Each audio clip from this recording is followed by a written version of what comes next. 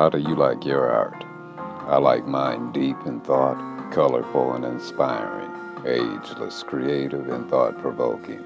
I like my art to express my culture and intellect, a window into my imagination. My name is Chet Hopper. I'm an artist, a creative source for your artistic needs.